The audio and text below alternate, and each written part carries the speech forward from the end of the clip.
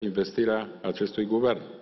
În primul rând, pentru că noi, spre deosebire de cei cărora le-am dat trei trandafiri ca să înțeleagă că după investirea guvernului Ciolacu, Ciolacu este șeful lor și o să defileze sub trei trandafiri și că mai bine se înscriu în PSD de pe acum, pentru că oricum nu o să mai aibă altă șansă de carieră politică decât în PSD, uh, noi suntem consecvenți cu ce le-am promis oamenilor. Doi, votăm împotriva acestui guvern, uitându-ne la cine este premier. Domnule Ciolacu, eu nu v-aș vota nici la Dobroiești primar, acolo unde locuiesc. Cum aș putea să vă votez prim-ministru? Pentru că nu vă jignesc, dar sunt câteva lucruri pe care nu mă pot abține să nu le spun. N-am cum să votez pe cineva uh, despre care nu știu ce liceu a terminat, când și-a luat bacalaureatul, când și-a luat diploma de licență la prima facultate.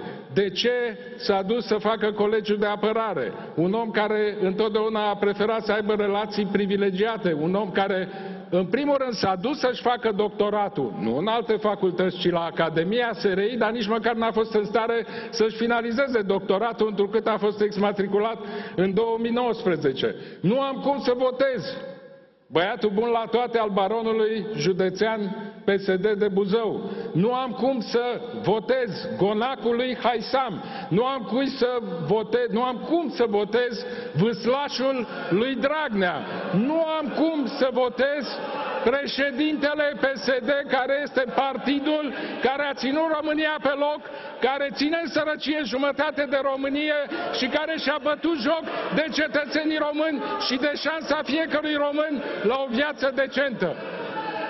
Doi, nu am cum, nu am cum să votez guvernul condus de Ciolacu pentru că acest program de guvernare nu este altceva decât un bla bla bla, bla bla bla. E Domnul deputat, vă rog să concluziile. Te pe programul de guvernare a fostului guvern în care era PSD, să vezi că 90% din ce a făcut guvernul Ciucă nu are nicio legătură cu programul de guvernare ca să vă spun că mai bine scriați programul ăsta de guvernare pe hârtie igienică, că oricum nimeni din guvernul va domnul citi deputat, și măcar să Domnul deputat, vă rog să încheiați, În fine, că mă apropii, mă apropii de final.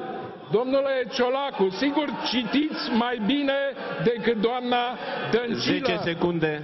Dar doamna Dăncilă vă era superioară în CV și măcar în onestitate, sinceritate. Și în final, dați-mi voie să vă fac un cadou, cartea Pas cu Pas, scrisă de președintele Iohannis, luată de la un da, anticariat... Vă rog să opriți microfonul.